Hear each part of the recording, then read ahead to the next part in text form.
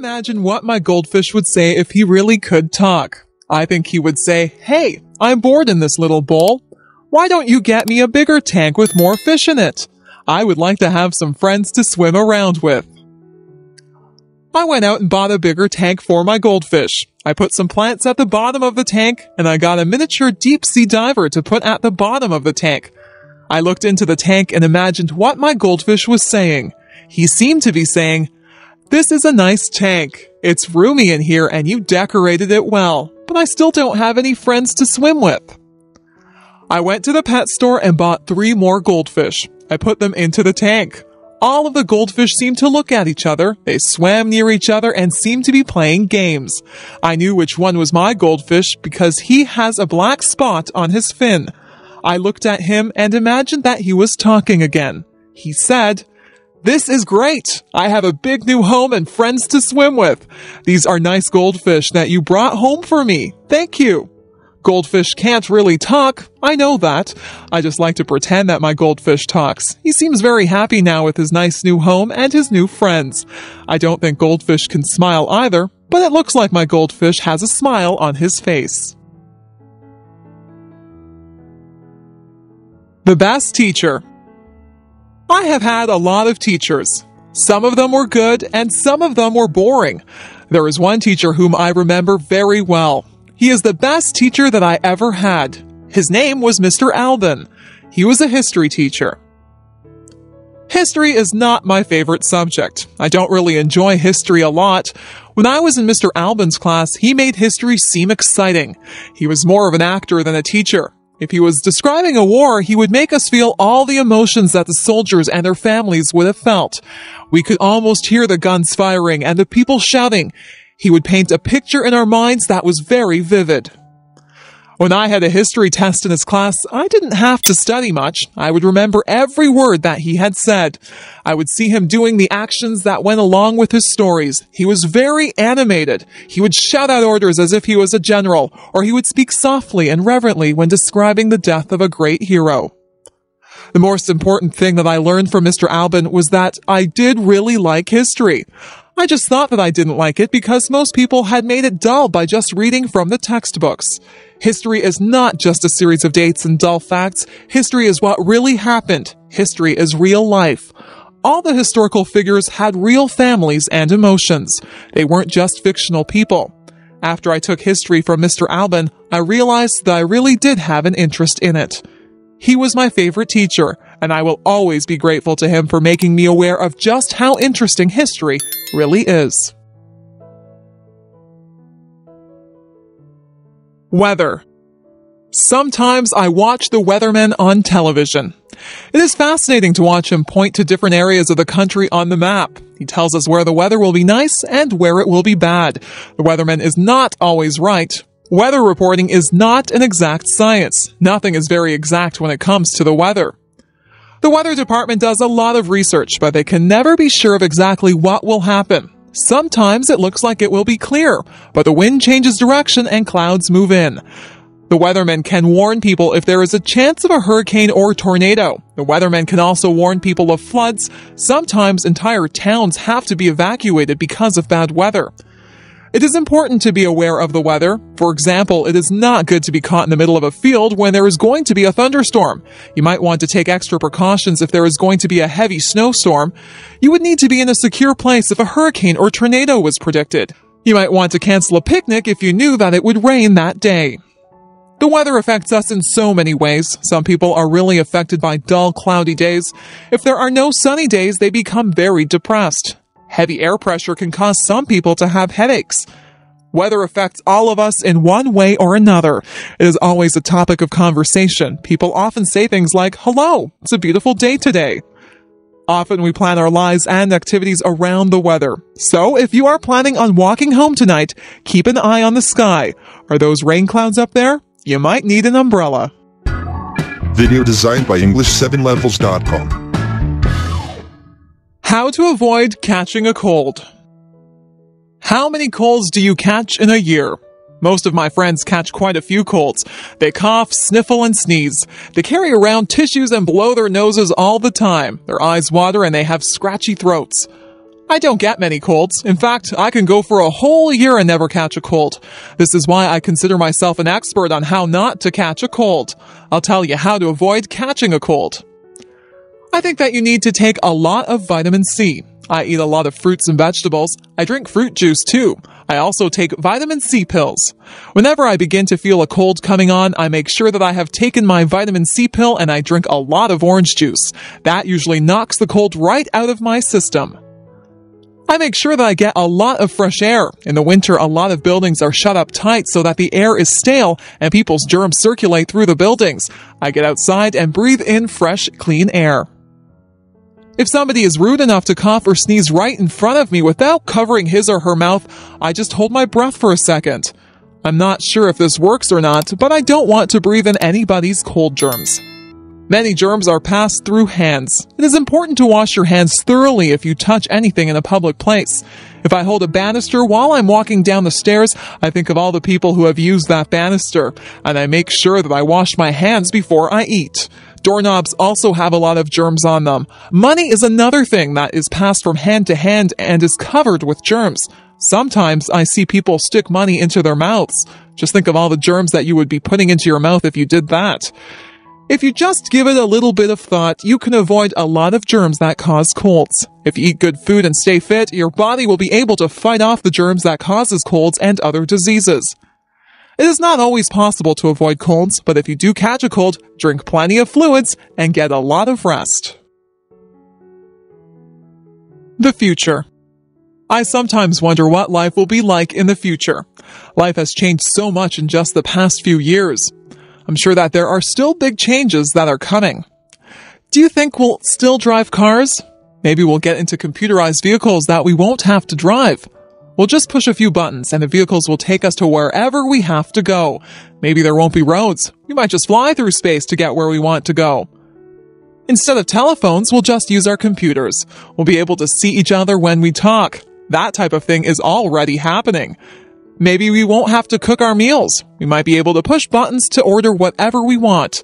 A nice roast beef dinner or an ice cream sundae might just pop out of a machine. It would be nice to have a robot to clean the house for you. In the past few years, computers have been extremely important. People used to write to each other through the mail. Now people communicate so much more frequently through email. Most of my friends own computers. If we had all of these things to do the work for us, what would we do? We would still need people to program the computers. We could spend more time being creative rather than doing everyday chores. The future holds many surprises. I'm sure that technology will become even more and more amazing. When my parents were young, they had never even seen a color television. Nobody owned a computer. It doesn't take long for things to change a lot. Who knows what amazing things are in store for us? Giving a speech. I had to give a speech last week. I gave a speech to 300 people. I had to speak in front of a group of students. I had to tell them about a campaign that we were having to raise money for cancer research. Giving a speech can be a difficult thing. When you stand in front of a big crowd, you can get very nervous. Some people feel like they have weak knees. Their legs feel as if they are made of rubber. Their heart beats very hard inside of their chest. Their palms get sweaty. Some people even become short of breath. For some people, giving a speech is their worst fear. When you give a speech, everyone is looking at you. They are waiting to hear what you have to say. When you have 300 people looking at you, you have 600 eyes that are on you. It is a little frightening when you think of it that way.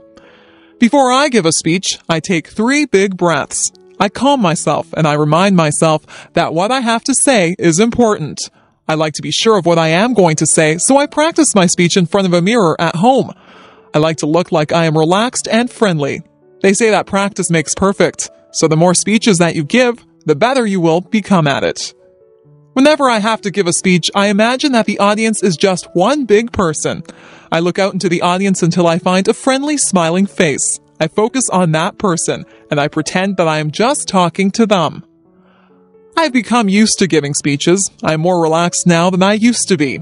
People tell me that I do not look nervous at all. I like to hear that. Sometimes I do feel a little flutter of nervousness, but I just ignore it and do the best that I can. Giving a speech is not as scary as it appears to be. Anyone can do it with a little practice. Moving to another country. My friend Steve moved to another country. He had lived in Canada all his life and he moved to Japan.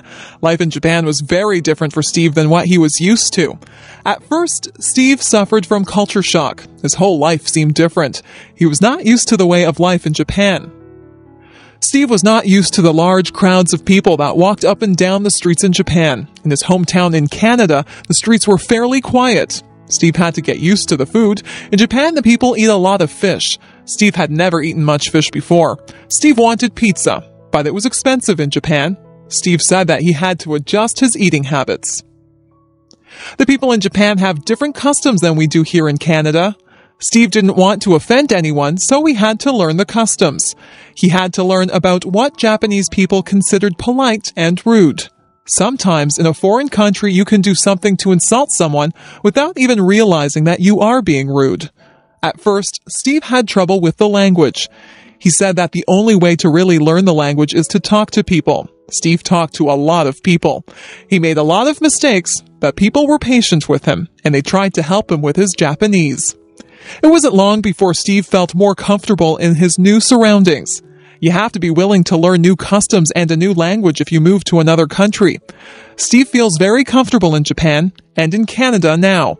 He is thinking about going to another country now. He thinks that he might like to try and live in Italy. I'm sure that he would get over his culture shock very fast if he moved there. Moving to a new country can be difficult, but if you are willing to learn, it can be a very rewarding experience. Look for the beauty. I have learned that things don't always go the way that they were planned. If something doesn't happen the way that I want it to, I try to make the best of the situation. I always try to find something good in everything that happens. Last year, I broke my ankle when I was walking on an icy sidewalk. At first, I was very upset.